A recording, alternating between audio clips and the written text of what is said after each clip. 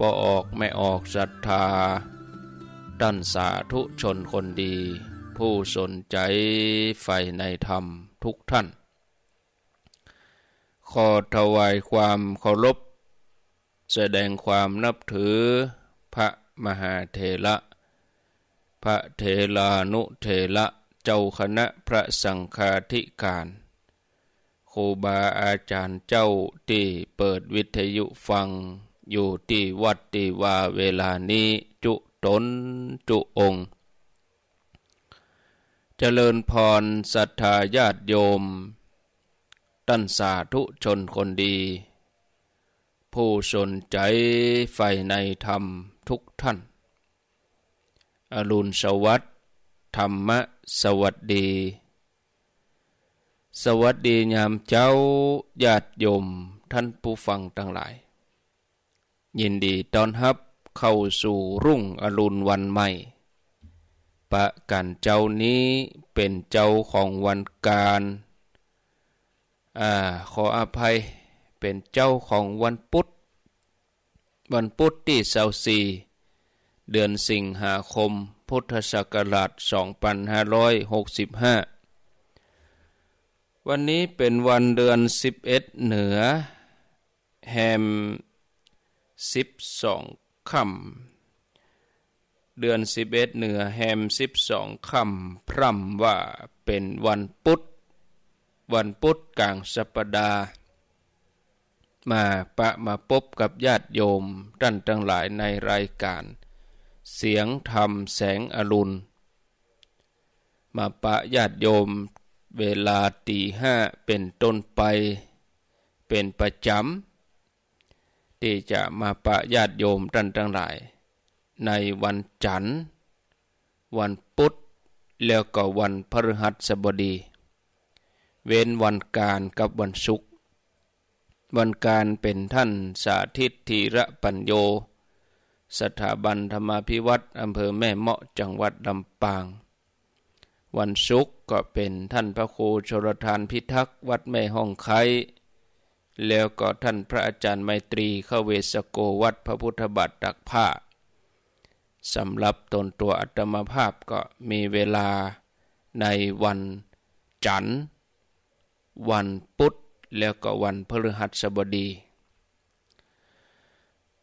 ญาติโยมท่านทั้งหลาย หลายท่านก็ตื่นขึ้นมาตั้งแต่เจ้ามืด ตีสามตีสี่ฟังรายการก่อนหน้าตะกี้ จบไปตะกี้ก็เป็นช่วงมรดกธรรมปื้นเมือง โดยพระครูสังฆลักษณอัตรัตนสิริวัดหริการาม ตำบลต้นทง อำเภอเมืองจังหวัดละปูนตีตันได้ดำเนินรายการเป็นประจำทุกวันพุธเวลาตีสามเกิงเป็นต้นไป ส่วนธรรมภาพก็รับช่วงเวลาต่อตีห้า ญาติโยมหลายท่านขอสับสนโทรมาหาอาตมา โทรมาร่วมรายการก่อนหน้าตะกี้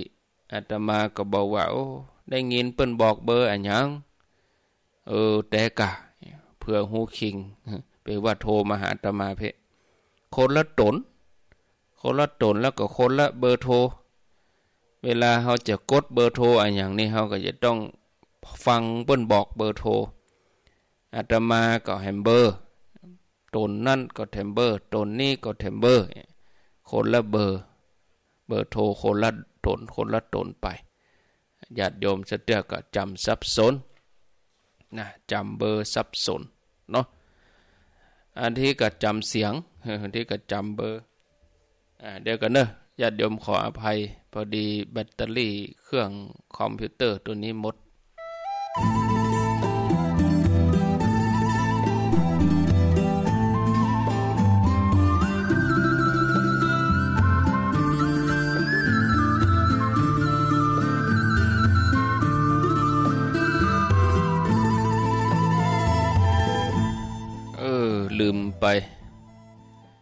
ลืมกดอ่าหม้อหม้อเก็บไฟ ลืมกดสวิตแล้วก็เปิดคอม เปิดตัวโน้ตบุ๊กตัวที่ใจถ่ายทอดเฟซบุ๊กนี่ เปิดไปเปิดไปเออเป็นไฟดับ ไฟดับก็ทำให้ระบบเฟซบุ๊กนั้นใจการบ่ได้ ดับไปอะเออ เดี๋ยวนี้ก็ดีละไฟมาละ ลูกเจ้าตื่นตัว เจ้าบัวกับอาหันเยื่องนานาพังพร้อม ลุกขวายบอดันโอนตางกิดกอมก้าตัวบอดต้อมปูนอาย จุงเก่งเข้าไว้ อย่าไปเฮือขวาย ต่อหน้าสบาย จำไว้เนอเจ้าจำไว้เนอเจ้า อรุณสวัสดิ์ธรรม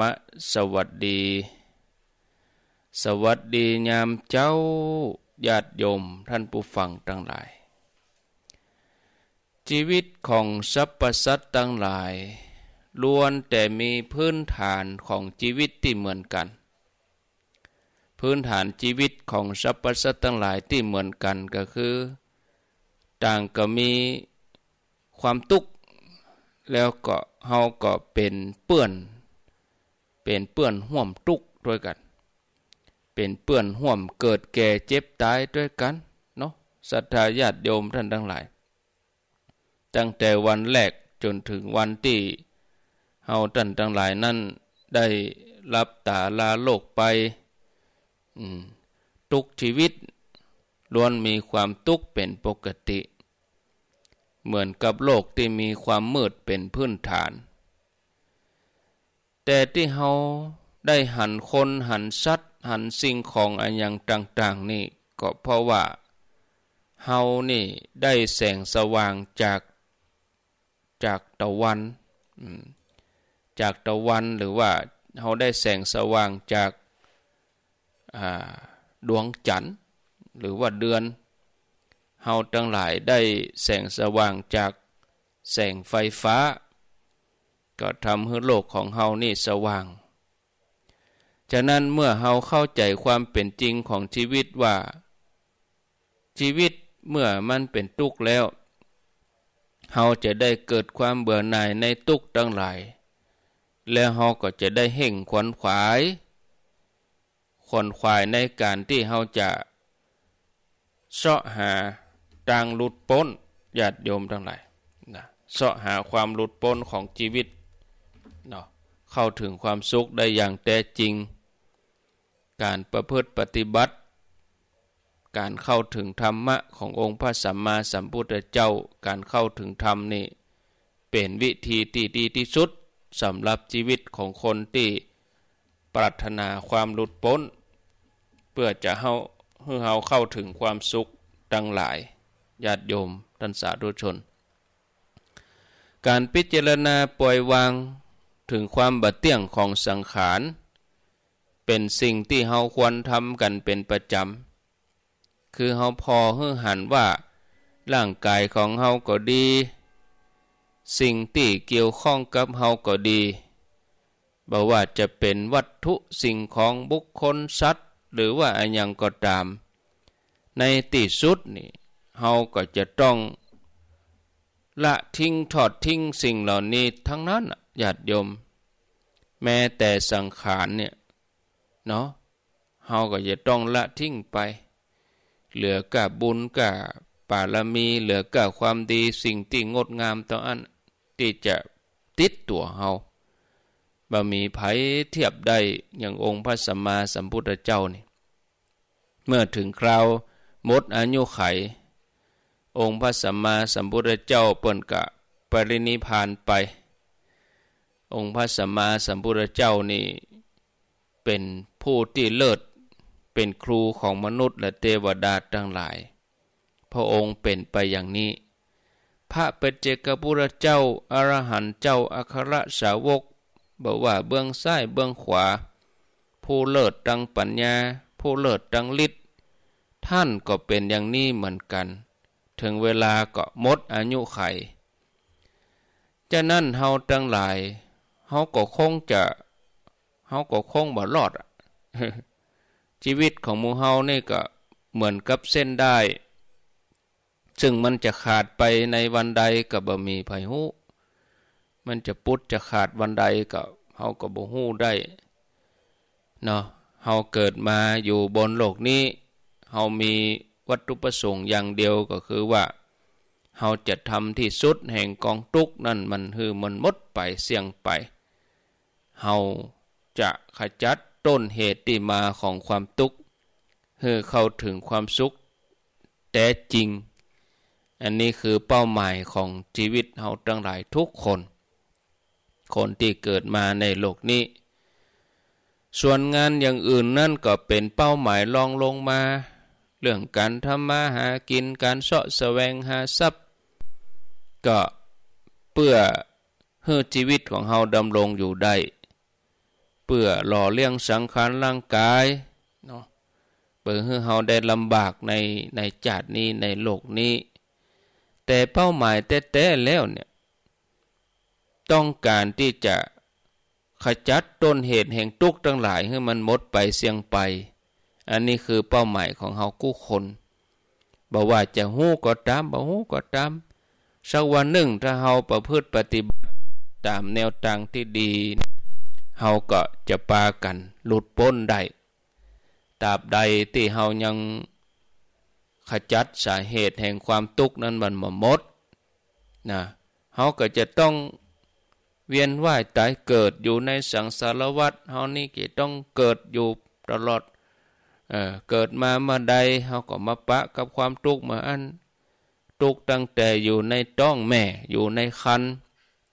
เมื่อคลอดออกจากต้องแม่ออกจากคันมันดา ชีวิตของเฮาศรัทธาทั้งหลายก็เวียนเวียนอยู่ในโลก จนถึงจากโลกนี้ไป มีความทุกข์อยู่ตลอดเวลา เฮาลองไปพิจารณาพอเตญาติโยมทั้งหลาย มีช่วงไหนของชีวิต ที่เฮามีความสุขได้อย่างแท้จริง มันก็มี มีแต่ว่ามันกำเดียวบ่ได้ มันแวบไปแวบมาสุกก่อนนิดนิดหน่อยหน่อยแป๊บเดียว แต่ว่าเฮามันมีตุกหนัก บางทีความตุกก็มันก็ซ่อนอยู่ในความสุขบางทีมันก็ลบอยู่หั่นน่ะ เนาะหวานอมขมเกินน่าชื่นอกตม ถ้าเฮามีปัญญา แล้วก็เข้าใจชีวิตได้อย่างดี ว่าบางทีบางครั้งเฮาเกาะพอบาหัน ชีวิตของเฮาท่านทั้งหลายทุกคนมันเป็นอย่างนี้ ร่างกายที่เฮาอาศัยอยู่เนี่ย จะเป็นละอ่อนจะเป็นคนนมคนสาว จะอยู่ในวัยกลางคนวัยชรา ถึงเวลาสักวันหนึ่งก็จะต้องทอดทิ้ง ละทิ้งไปหมดบ่มีเว้นเลย แม้แต่คนเดียวเฮาทั้งหลายจะใจเวลามาพิจารณาสิ่งเหล่านี้เฮาต้องทำเฮาต้องควรทำจะว่าจะเนี่ยจะทำต้องทำเนาะจะทำความดีจะทำบุญเนี่ยต้องทำดีต้องทำบุญ จะไปจะถ้าจะนี่มันไม่ได้เนี่ยเสือ จะทำบุญ เมื่อใดก็จะทำความดี ถ้าจะจะจะนี่มได้เนี่ยได้ทำเฮาต้องทำเราต้องทำบุญเราต้องทำความดีเราควรใจเวลาพิจารณาสิ่งมูนี้ให้ดี ซึ่งบางท่านตลอดชีวิตที่ผ่านมาเนี่ยบ่เคยนึกถึงสิ่งเหล่านี้เลย บางครั้งบางทีก็บักกล้าที่จะนึกเนาะเพราะว่า หวาดวันกัวเนาะแต่การนึกอย่างนี้ญาติโยมทั้งหลายจะสร้างประโยชน์ สร้างประโยชน์ให้กับเฮาเพราะเป็นที่มาแห่งความบริสุทธิ์มดจดเนาะเฮาทำพิจารณาสิ่งเหล่านี้ก็ เป็นเหตุให้เฮาเบื่อหน่ายในการที่จะทำในสิ่งที่บดีเฮาจะมีความเพียร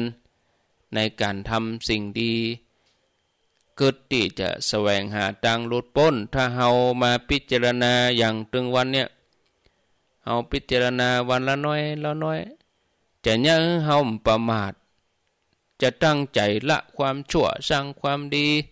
ทำจิตใจให้ผ่องใส ถึงวันใดวันหนึ่ง มรณะภัยมาถึง เฮาจะได้บัต้องสะดุ้งหวาดกลัว เขาจะเดินทางไปสู่สัมปรายภพได้อย่างปลอดภัย ไปอย่างผู้มีชัย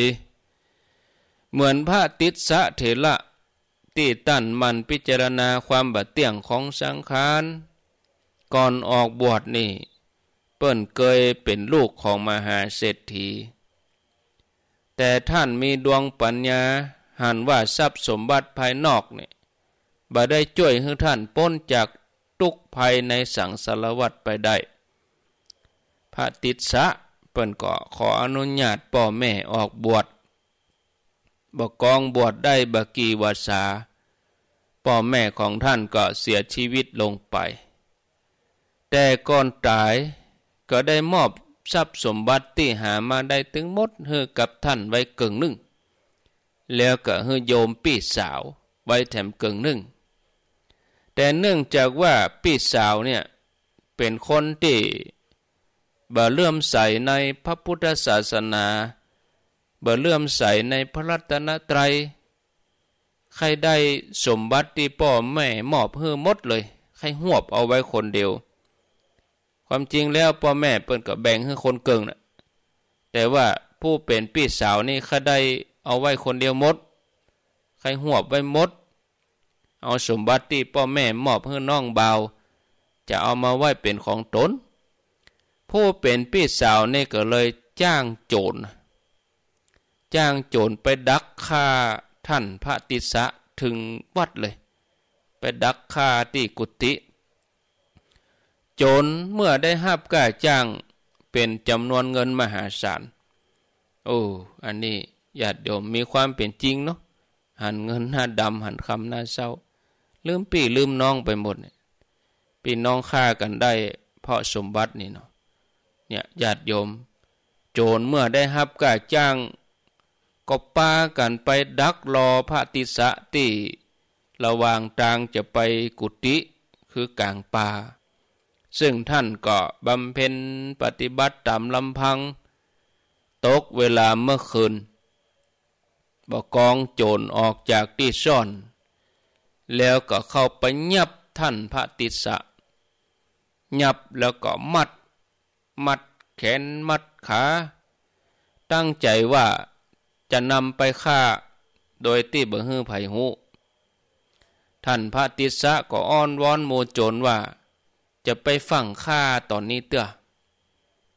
ขอให้รอถึงวันผูกมาเจ้าก่อน ตัวท่านเองกับบนีไปไหน ถึงจะอยู่ให้ฆ่า ฮืออยู่ฮือทำอันตรายบ่ต้องยะหยังของฮือมันป้นคืนนี่ก่อนมูโจรฟังแล้วก็บ่เชื่อกลัวดันจะลบหนีไปเหี่ยก่อนพระติสะก็เลยเอาเอาหินมาตุบขาตัวเก่าญาติโยม ตุบบาบ้าหัวเข่าตุบขาตัวเก่าเฮือหักถึงสองข้าง เพื่อให้โจรมั่นใจว่า จะบหนีไปไหนพระติสะก็บอกให้โจรว่าบเดียนนี้อาตมาขาหักตึงสองข้างแล้วคงหนีไปไหนมหลอดนะ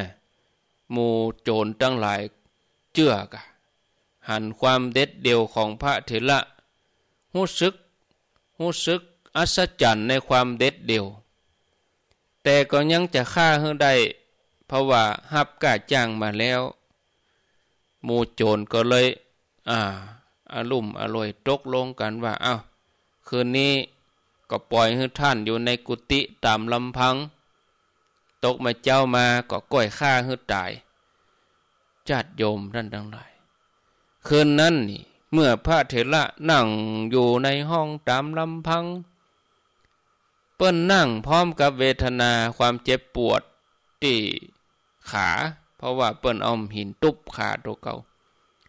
เปิ้นก็พยายามข่มความเจ็บปวดเอาไว้ แล้วก็ทำใจให้หยุดนิ่งเป็นเอกคตาลม ปล่อยใจไปพิจารณาความบาดเตียงของสังขารกึดเพียงแต่ว่าสังขารร่างกายนี้ เป็นที่อาศัยเท่านั้นเป็นที่ผ่านของการสร้างความดี พอหันขันห้า คือความบัดเตียงเป็นตุกเป็นอนัตตา เปิ้นก็ปล่อยวางได้แต่แต่เพราะความตายมันจ่ออยู่ตรงหน้ามันผูกมาเจ้าตัวเก่าก็จะต้องตายละอะเห็นนี่บอกกองเปิ้นปล่อยจิตว่างอ่ากายอันหยาบนี่มีละ ใจเปิ้นกับไปอยู่ที่ความละเอียดเนาะพิจารณา ได้ได้กายละเอียด เหมือนกับที่เฮาได้ละทิ้งก้อนกวด แล้วเฮาก็ไปเอาเพชรเอาพลอยนะ่ะญาติโยมทั้งหลาย กายที่มันมีความละเอียดเนี่ยจิตที่มันละเอียดเนี่ยพิจารณาไปเนี่ยจะมีความงดงามเนาะมันก็จะบ่มีการเจ็บการปวดบ่มีการป่วยเมื่อยไข้นะโนเนี่ย ปิ่นพิจารณาอยู่อย่างนี้ ก็พิจารณาหันกายในกาย พิจารณาหันว่า ถึงแม้จะไปเป็นเทวดาก็ตาม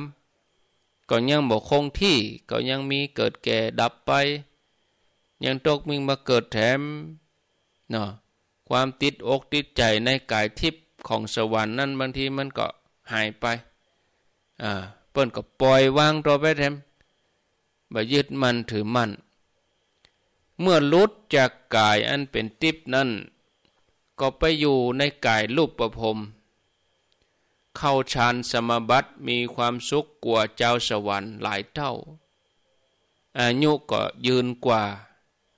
บ่มีการเจ็บไข้ได้ป่วย เหลืออยู่อย่างเดียว ยังมีความบาดเตี้ยง ยังจะต้องจุดติแถม เปิ้นกับพอฮือหันทะลุปุโปง พอในสภาวะของใจ ตรวจตาพิจารณาไปถึงรูปประพรมอรูปประพรมพิจารณาบะมีภัยที่จะบรจุติเลย หมดกำลังบุญแล้วก็จะต้องปีกไป ใจกรรมใจเวรต้องจุติปฏิสนธิแถมไม่เปิ้นก็เว้นจากรูปประพรมไปที่อนาคามี ท่านก็มีความเพียรต่อไปเนาะอนาคามีพิจารณาไปพันก็หันความเบื่อหน่ายคลายความยึดมั่นถือมั่นในที่สุดจิตก็หลุดพ้นเลยเออแล้วป้นก่อนหันว่าจิตของป้นนี่หลุดพ้นจากการยึดมั่นถือมั่นทิ้งไปเลยบาอะไรอาวรอะไรอย่างเมื่อตัดขาดไปอย่างนั้นนะท่านก็ไปปะแหมกายหนึ่ง ที่ประณีตกว่ารูปประพรมอันนี้ห้องว่ากายที่มันเป็นรูปประชานรูปประชานได้สารชานสมาบัติละเอียดประณีต ท่านก็พิจารณาไปแถมโอ้ ถ้าเฮาไปหลงอยู่ที่รูปประพรมรูปประพรมเฮาหลงไปอยู่ที่ชั้นนี้แถมเออก็จะถูกครอบงำ ทำให้ปัญญามเป่งแจ้ง ก็ยังจะต้องจุติแถมอยู่นี่ยท่านก็พิจารณาเข้าไปแถมนะพิจารณาไปก็พบว่าสิ่งที่เป็นขันธวิมุตต์หลุดพ้นจากขันห้ามีอยู่ แล้วก็มีอยู่นอกเหนือจากภพถึงสามที่บ่ต้องอยู่ในกฎแต่ลักเนาะท่านพิจารณา สิ่งที่มันเป็นความสุขเตียงแต่แน่นอนบ่มีความทุกข์เจือปนบ่อยู่ในการบังคับบัญชาของกิเลสอาสวะทั้งหลาย ที่บ่ต้องมาเวียนว่ายใจเกิดแถมเปิ้นก็ปล่อยใจพิจารณาไปอย่างนี้นะในที่สุดมาเนี่ยญาติโยมเปิ้นก็เข้าถึงความเป็นอรหันต์ได้บรรลุอรหันต์คืนนั่นเลย นี่เฮาท่านทั้งหลายเนี่ย เฮาต้องเกียมตัวกันให้พร้อมอ่าเฮาต้องรอให้มาจุลาดมาอยู่ตรงหน้านี่ละเฮาถึงจะเห่งทำความดี บางครั้งบางทีจังมีเหมือนกัน วันใดที่ได้รับความทุกข์วันใดที่ตัวเก่าเสี่ยงเป็นเสี่ยงตายวันใดที่ความตายใกล้มาถึง วันนั้นถึงจะนึกถึงความดี มันเป็นสิ่งที่บ่ถูกต้องเราจะต้องทำตั้งแต่ว่า เรายังมีสุขภาพดีร่างกายดีพอจะทำอย่างใดเราก็ทำเเราจะต้องเห่งฝึกเหียตั้งแต่ใบเดียวนี้ ฝึกใจให้หยุดนิ่งนะบ่ยึดมันถือมันอันยังในโลกเนาะทุกสิ่งที่ย่างนี่นะญาติโยมมันจะต้องถึงจุดเสื่อมสลายอ่าถึงวันนั้นมาเฮาก็บวาดบันต่อมรณะภัย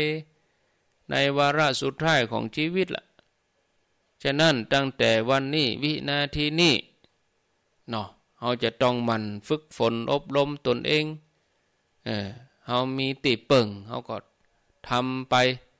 เนี่ยญาติโยมน้อมจิตน้อมใจไปถึงพระรัตนตรัยพระเกี่ยวเจ้าทั้งสามประการหนทางแห่งการสร้างปรมี เป็นเส้นทางที่มันยาวไกลเนาะแล้วจะต้องอาศัยความเปลี่ยน ความเป็นผู้ประมาทเฮาถึงจะสามารถสร้างปารมี แล้วเฮาก็ย่อถนน ย่อหนทางในสังสารวัตนี้ที่มันยาวไกลคือมันสั้นลงมาเนาะถ้าว่าบ่มีความบ่ประมาทนะถ้าเฮามีความประมาทแต่ถ้าเฮาเป็นคนที่มีความประมาทในชีวิตอ่า มันก็ยิ่งจะทำให้เวลาของการเวียนว่ายแต่เกิดนี่มันยืดยาวออกไป มันมีตีสิ้นสุด องค์พระสัมมาสัมพุทธเจ้าพุทธองค์ทรงตรัสว่า สังสารวัตของผู้ที่ประมาท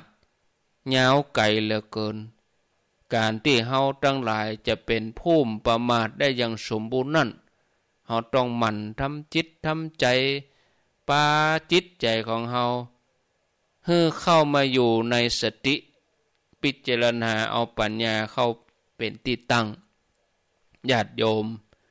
การเจริญพุทธานุสติ มีพระพุทธเจ้าเป็นอารมณ์ หมายความว่า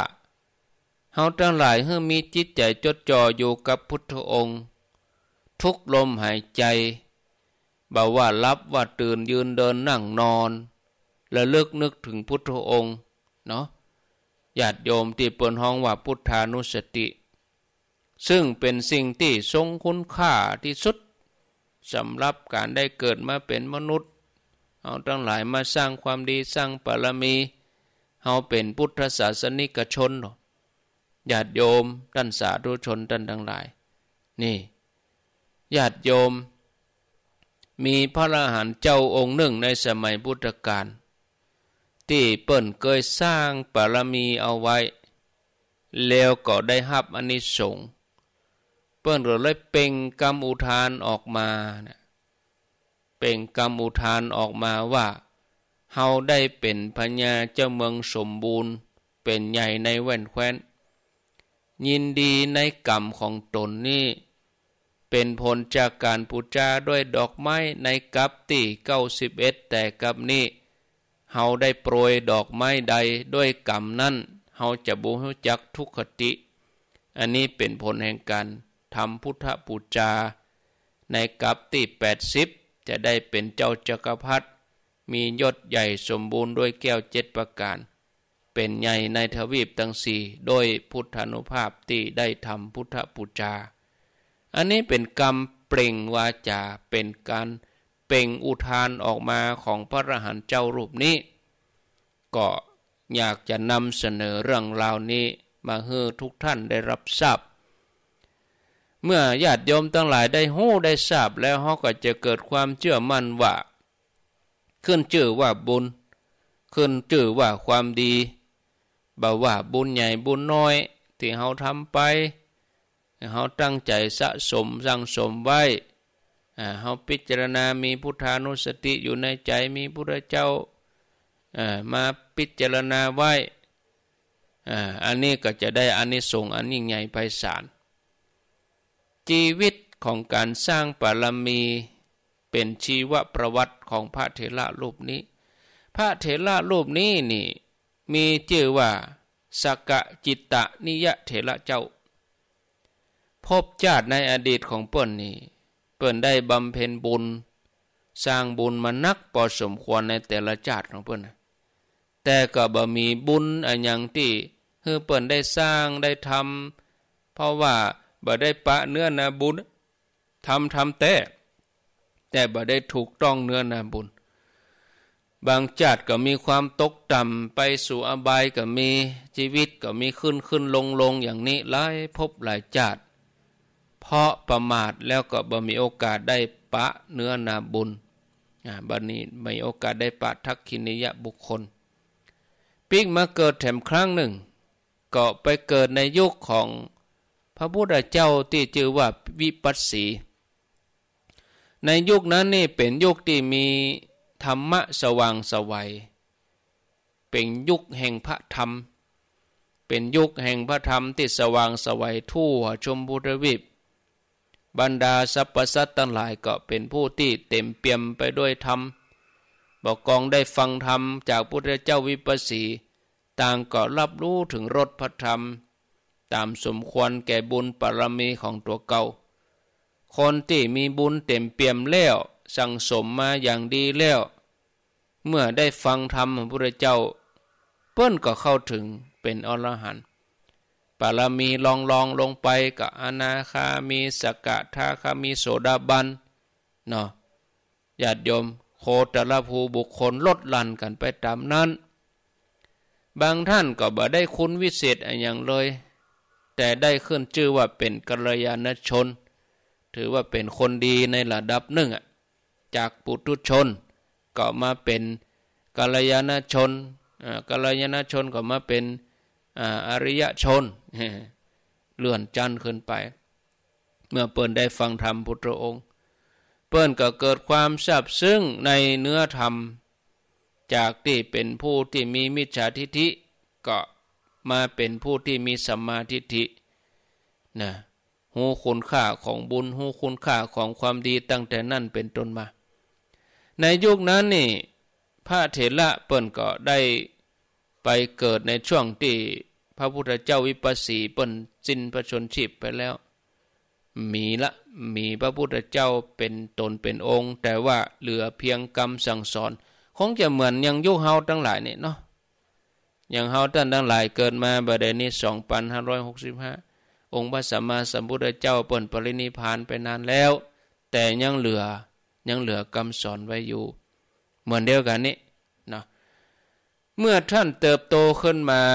ท่านก็มีโอกาสได้ศึกษาคำสอนของพุทธเจ้ายังให้เกิดความสับซึ้งในรถพระธรรม เกิดความเสียใจเนาะบอกว่าโอ้น่าเสียดาย ที่เฮายังบัดดันเข้าเฝ้าพุทธเจ้า พระองค์เสด็จดับขันปรินิพานไปเสียแล้ว อันนี้เพียงแต่ว่าเฮาได้ศึกษาเฮียนหู้นำทำคำสอนของเปิ้น เฮายังเกิดดวงปัญญาขนาดนี้ เฮายังหู้แจ้งในชีวิตขนาดนี้ ถ้าหากว่าเฮาได้เข้าเฝ้าตรงหน้าพระพัก ได้นั่งฟังธรรมจากพระโอษฐ์ เฮาคงจะมีโอกาส เฮาท่านน่าจะมีโอกาสได้บรรลุธรรม เหมือนอย่างที่อดีตที่เปิ้นมีเปิ้นทำนะท่านก็เกิดนี้อะเกิดถึงวันถึงวัน แต่ก็บ่ฮู้จะแย่จะใดนะญาติโยม มีวันหนึ่งตันก็เกิดความคิดขึ้นมาว่าเฮาควรจะเดินตามห้อยบาทพระศาสดา มันบำเพ็ญเพียรอยู่สม่ำเสมอถ้าว่าเฮาทำได้อย่างนี้ อาจจะได้บรรลุดังอริยะเจ้าทั้งหลายในอดีตก็ได้นะถึงแม้ปรารถนาที่จะออกบวชในพระศาสนา แต่ก็ยังลังเล ตัดสินใจบ่ได้เตื้อเปิ่นเกิดว่า เออ อุปนิสัยของเฮานี่บ่เหมาะบ่เหมาะที่จะมาอยู่ท่ามกลางพระนครที่มีคนนักคนหลาย ถ้าว่าเฮาจะบวชนะเฮาจะมาบวชในพระศาสนาเพียงบัษาแรกแล้วเฮาจะไปอยู่ตามลำพัง อุปชาเฮาคงบ่อนุญาตเอาเถอะเฮาก็บ่บ่บวชเป็นพระในพระศาสนาเถอะ เขาจะบวชเป็นฤาษีก่อน เปิ้นก็ไปบวชเป็นฤาษีเดินทางเข้าไปมุ่งแสวงหาต่างวิเวกต่างสงบ มาจนถึงสถานที่แห่งหนึ่งที่เป็นป่าโลกชัดเป็นป่าทึบ ป่านี้เต็มไปด้วยสัตว์หาย สิงสารสัตว์ เสือโคร่งยักษ์ผีเสื้อน้ำมีจางที่ดุ มีครุฑมีงูนะได้ยินก็เสียงสัตว์ป่าเนาะเป็นเสียงที่มีนกตั้งหลาย อาศัยอยู่นักนกดูวาวนกกะละเวก นกกระจาบนกตะปะส่งเสียงดังลั่นป่า ในบรรยากาศอย่างนี้ท่านฤาษีก็รู้สึกว่าเย็นกายเย็นใจสงบแปลกประหลาด ก็เลยตัดสินใจอยู่ที่หั่นทำความเพียรทีนี้ก็เมื่อหาที่พักที่สงบแล้ว ก็ทำที่มุงที่บัง แม้จะเป็นฤาษีก็ตาม แต่ใจของท่านก็ยังเคารพเริ่มใส่ต่อพระศาสดาพระสัมมาสัมพุทธเจ้า เกิดว่าการที่เฮามาอยู่ตอนนี้ก็เพื่อการดำเนินตามรอยบาทพระศาสดาพระองค์นั้น เฮาควรที่จะมีใจทรงไปถึงท่านทุกๆวันทุกๆคืน ถ้าหากว่าเฮาพิจารณาเอาพระสัมมาสัมพุทธเจ้าเป็นอารมณ์ จะทำเมื่อเฮาอยู่อย่างบาวาดหวาดกลัว อยู่อย่างบัสะดุ้งกลัวต่อภัยตั้งหลายเปิ้นก็เลยก่อเจดีย์ทราย เอาไว้ตีซอกเขา เพื่อเป็นสัญลักษณ์แทนพระพุทธเจ้า ถึงวันถึงวันเปิ้นก็จะเอาดอกไม้ไปไหว้เจดีย์ทรายนั่นน่ะนึกถึงกุณพระผู้มีพระภาคเจ้าทำความรู้สึกเสมือนว่า ตัวเก่าได้เข้าเฝ้าพระเจ้าตรงหน้าพระพักปูจาด้วยดอกไม้นานาพันเคารพปูจาเจดีย์ทรายนั่นน่ะนะเหมือนอย่างพุทธเจ้าได้ประทับอยู่ตรงนั้น ตัวท่านเองก็คอยดูแลปัดกวาดเอาใจใส่เจดีเสมือนเอาใจใส่ดูแลพระบรมสารีริกธาตุทำอยู่อย่างนั้นตลอดจนมดอายุไข คณะที่ละจากโลกไป ในใจท่านก็มีภาพพระพุทธเจ้าอยู่ภายใน โดยความเคารพเริ่มใส่ที่บางง่อนแง่นคลอนแคลนโดยอนุภาพแห่งบุญด้านก็ท่องในระวังเทวโลกกับมนุษยโลกทั้งหลาย เมื่อเกิดเป็นเทวดาสวยสมบัติ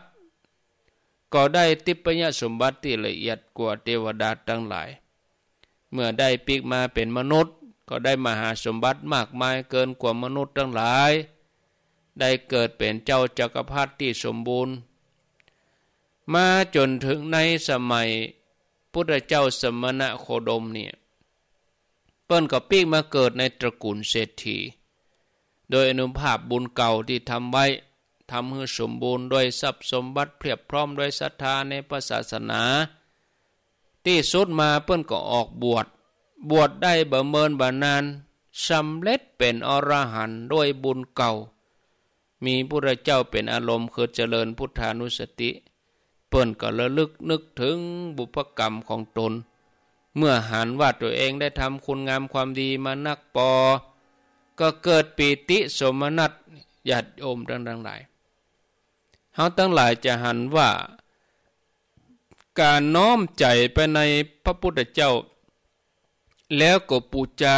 อย่างใดอย่างหนึ่ง เป็นที่มาแห่งมหากุศล เป็นที่มาแห่งความสุข ฉะนั้นมันใจเรื่องเล็กๆน้อยๆการที่เขาจะทรงใจไปถึงองค์พระสัมมาสัมพุทธเจ้าอยู่เป็นประจำสม่ำเสมอ นั่นคือการเจริญพุทธานุสติ เป็นสิ่งที่เขาควรทำแล้วก็ต้องทำเป็นปกตินิสัยเขาตั้งหลายจะได้รับอันนิสงส์อันยิ่งใหญ่ วิธีการทำง่ายๆก็คือเขานึกถึงองค์พระพุทธ พระปฏิมากรองค์ใดองค์หนึ่ง ที่เฮากราบไหว้พระพุทธสีหิง พระสิงห์พระพุทธชินนลาดพระแก้วมรกตกาพระสิงห์กาพระอายังก็ตาม พระประธานในโบสถ์ในวิหารในศาลา พระพุทธปฏิมาองค์ใดองค์หนึ่ง แล้วเขาก็น้อมเข้ามาเฮือสถิตอยู่ในดวงจิตของเขานี้เฮือหันเปิ่นนะ เป็นพุทธานุสติเนี่ยจะได้ชื่อว่าเคารพลมใสในพุทธเจ้า มีพระพุทธเจ้าเป็นอารมณ์เนาะมันมีอย่างที่สายเกินไปนะการประพฤติปฏิบัตินี่คือการฝึกจิตฝึกใจเข้าถึงพระรัตนตรัยเข้าถึงพระพุทธพระธรรมพระสงฆ์ถึงสามอย่างนี้เป็นสารณะเป็นที่เปิงฉะนั้นญาติโยมเอาตั้งหลาย ในฐานะที่เป็นพุทธศาสนิกชนเฮาทุกคนต้องตั้งใจประพฤติปฏิบัติเฮาถึงจะได้ชื่อว่าเป็นเจ้าปุติเตเมื่อเฮาต้องการจะเข้าถึงพระแก้วเจ้าทั้งสามประการรัตนตรัยรัตนะสามอย่างนี้เฮาต้องเอาใจของเฮาที่มันแวบไปแวบมาที่มันเกิดไปในเรื่องราวต่าง ๆ ทั้งหมด เฮาก็เอามาพิจารณาเอาดวงจิตของเฮามาพิจารณาอยู่ตรงนี้นะญาติโยมเบื้องต้นที่เขาจะเข้าถึงรัตนตรัยเมื่อเฮาเข้าถึงดวงจิตเนาะเมื่อเฮาเข้าถึงจิตดวงนั้นแล้วเฮาก็ยุดกะเฮาก็ยุดคิดเรื่องราวต่าง ๆ ไปก่อนยุดชั่วคราวก่อนรถเปิ้นยังมีเกียร์ว่าง เดินหน้าอย่างเดียวก็บ่ได้ ถอยหลังอย่างเดียวก็บ่ได้ จิตมันต้องว่างพองเมื่อจิตว่างดีปอญาติโยมทั้งหลายเฮาก็พิจารณาต่อไปแถมนะอยู่ในปฐมมรรคนี้ เมื่อจิตมันถูกส่วนดีแล้วบ่ขยายออกไปรอบตัวเฮาก็จะหันทำดวงใหม่พุทธเกิดขึ้นมา ทำดวงใหม่พุทธเกิดขึ้นมา มันก็เป่งแจงมันก็ออกมาเป็นจันจันนะเปินห้องว่าดวงศีลศีลของภัยคือศีลของทัศธาศีลของตัวเฮานั้นเนาะเมื่อศีลมันพิจารณาแล้วหันเป็นจันจันเข้าไป มันก็พุทธดวงปัญญาขึ้นมาละกำนี้ เมื่อพุทธดวงปัญญา มันก็เข้าสู่ดวงวิมุตติ ได้หันดวงวิมุตติญาณทัศนะนะพุทธขึ้นมา บอกกองเข้าถึงวิมุตติญาณทัศนะ มันจะเข้าถึงญาติโยมทั้งหลาย นี่พุทธขึ้นมา ลักษณะเหมือนตัวเฮานะเหมือนบอกว่าเป็นปอดใจกันแม่ยิงกะเฮาจะเข้าถึงกายที่ละเอียดขึ้นมา เมื่อยุดพิจารณาไปพิจารณาไปมันก็เข้าถึงอะพระรัตนตรัยมีในมีอยู่ในตัวเฮานี่ทุกคน ชีวิตเฮาทุกคนที่เกิดมานั้น ต่างก็ได้ผ่านตึงดีตึงให้มาแล้วทั้งนั้นเนาะถ้าเฮาสามารถลืมสิ่งที่บดีตั้งหลายในอดีตไปได้ แล้วเฮาตั้งใจทำความดีเหี่ยไหม การเปลี่ยนแปลงไปในทางที่ดี ก็จะมีจะเกิดขึ้นกับชีวิตของเฮาเนาะเหมือนกับนายตัมพทาธิกะ หรือว่านายเพชรคาดเขาแดง นายเพชรคาดเขาแดงนี่ มีอาชีพประหารนักโทษหรอเนาะนักโทษที่เปิ่นตัดสินประหารชีวิตแล้วนะ่ะ นายเพชรคาดเขาวแดงนี่ก็มีหน้าที่ทำหน้าที่ตัดหัวนักโทษทำมานับจำนวนบัทวนตลอดเวลาห้าสิบห้าปี แต่เขาก็สามารถที่จะลืมบาปลืมอกุศลทำใจให้เป็นกุศลให้บุญนั่นมีห้อม ในที่สุดก็เป็นโสดาบันได้เหมือนกัน กะเราเรื่องญาติโยมฟังเห็นสักหน่อย ในเวลาที่มีอยู่เนาะ กระเดียวไปต่อกันแถมชั่วโมงเนอะกระเดียวหกโมงก็ฟังต่อกันแถมอยู่ เว้นเฉพาะเมืองฝาง เมืองฝางนี่แต่ว่าไปเมืองฝาง ไปเอ่อคือกำลังใจหลวงพ่อพระครูสุจิตานุรักษ์อาตมาเขาไปสิบสองตน หลวงพ่อว่าโอ้เลขสิบสองนี่ดีเนอะเอ่อถ้าปีนแหมกรรมก็เช้าเอ็ดนะ กุลกุลแม่เอ่อกุลป่ออีหลวงพ่อว่าอีกุลป่อมีเช้าเอ็ดกุลแม่มีสิบสองอีนะรวมกันนี่โหเท่ากับอาการสามสิบสองเนี่ยสามสิบสองบวกอากาศธาตุเป็นหนึ่งเป็นสามสิบสามจับพอดี แต่ว่านี่ได้สวดกัน เกสาโลมานาขา สวดอาการ 32 แล้วก็สวดพดชงคปริตนะ เสร็จแล้วก็ไปเอววัดสีมหาโพธิโปธารามวัดพระธาตุม่อนปินไปเอาหาท่านจำเริญอารามา